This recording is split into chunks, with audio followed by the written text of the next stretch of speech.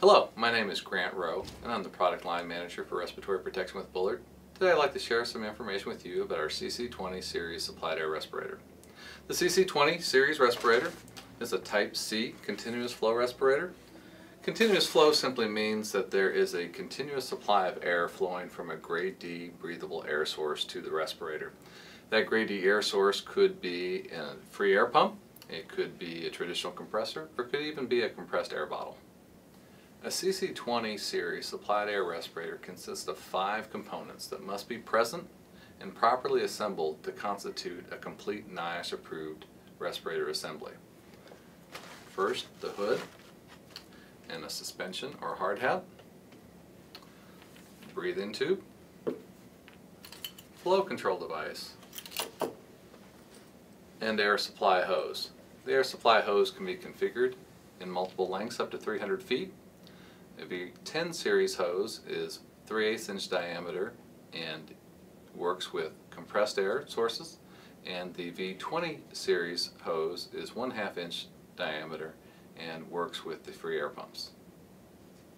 Features of the CC20 include no fit testing, 1000 assigned protection factor for double bib models, standard flex gear ratchet headband, accommodation for facial hair and eyewear, a large field of view lens, lens covers to extend the life of the primary lens, an air delivery system that directs air to the breathing zone and prevents fogging of the lens, available personal cooling devices, compatibility for both supplied air respirators and powered air purifying respirators.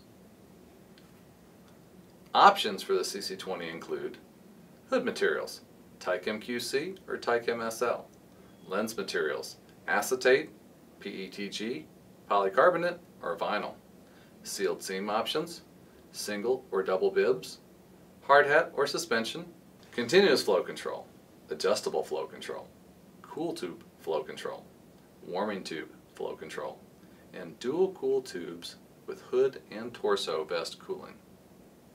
Now that you have familiarized yourself with the CC20 respirator, let's prepare it for use. Remember the following before donning. Respirators should only be used as part of a written and comprehensive OSHA-compliant respirator protection program as outlined in 29 CFR 1910.134. Although fit testing with the CC20 is not required, any employee who will wear a respirator must undergo a medical evaluation prior to use. For a complete listing of all warnings and cautions, please consult your CC20 user manual.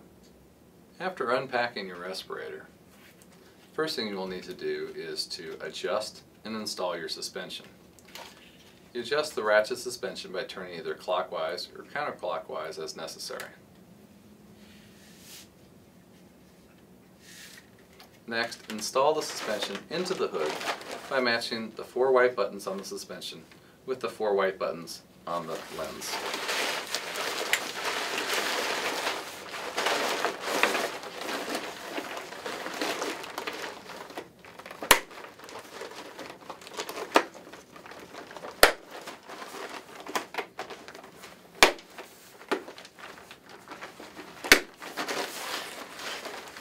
Snap in place. Next, install the breathing tube assembly by inserting the breathing tube into the air entry of the hood, approximately 5 inches, and securing with the clamp.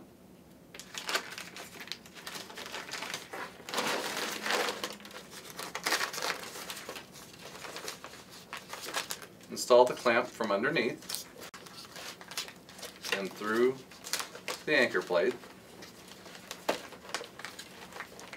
and then secure by squeezing the clamp until tight.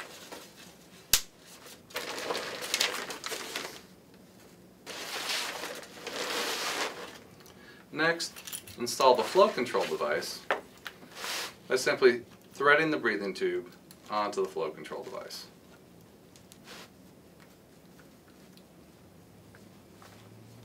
until finger tight. Next, connect the female quick disconnect coupling of the air supply hose to the male nipple of the flow control device. Then connect the male nipple of the air supply hose to the breathing air source. Adjust the breathing pressure per the instruction manual. With air flowing, down the hood, adjust as necessary, and buckle the waist belt.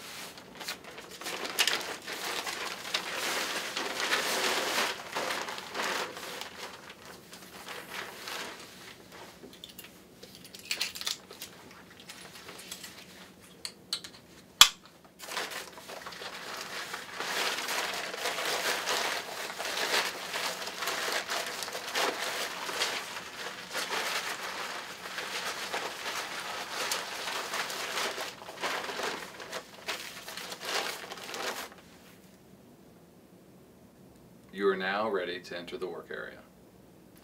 Leave the work area immediately if any respirator component becomes damaged, airflow into the respirator stops or slows down, the air pressure gauge drops below the minimum specified in the breathing air pressure table, if your breathing becomes difficult, if you become dizzy, nauseous, too hot, too cold, or ill, if you taste, smell, or see contaminants inside the respirator facepiece or hood, or if your vision becomes impaired.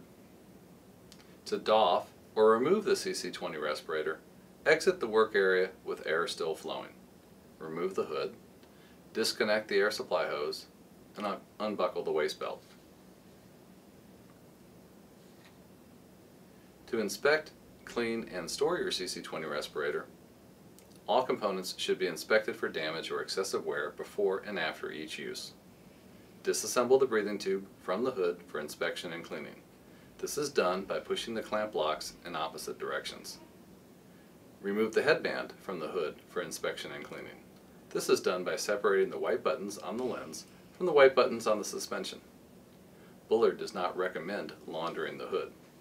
When the hood is too soiled for use, it should be discarded and replaced. Components may be hand sponged with warm water and mild detergent, then rinsed and air dried. Mineral spirits may be used to remove paint or coatings from the solvent-resistant lens of the 20TP and 20TPC hoods. The breathing tube may be hand sponged, but not immersed. Again, do not use any harsh cleaning agents. The air supply hose should be hand sponged with warm water and mild detergent. Rinse, allow to air dry, and inspect. When all components have been thoroughly cleaned, dried, and inspected, they should be stored with protection from contamination, sunlight, and extreme temperature. For more information, please consult your user manual or contact Bullard by calling 877 Bullard or by emailing info at bullard.com.